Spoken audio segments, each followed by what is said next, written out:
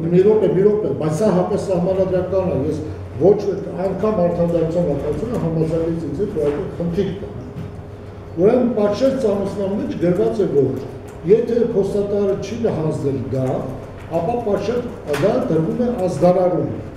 Եվ ազդարարում յուրաքանչյուր վարող կարող է նայել։ Ավելին, որպեսզի աշխատանքը լավացին ճիշտ է, ճանապարհային ոստիկանությունը եւ իրավահաղորդականը իրենց կայքերում են ուներ գրած, որ իրավախախտում ողջունվել որ մենք կարող ենք նայել արցանց, դա շատ լավ է, դա զարգանում է։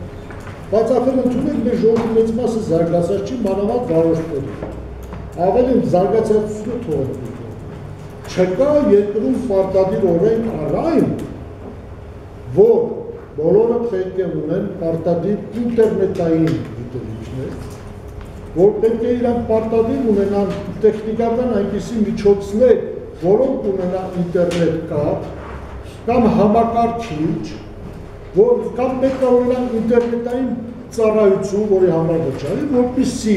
ինտերնետային օնլայն ծառայությունը դա։ Եկեք մենք այդ օրենքները ընդունենք, ինչպես ասել ենք, որ պարտադիր կրթությունը մեզ մոտ միջնակարգ կրթությունը,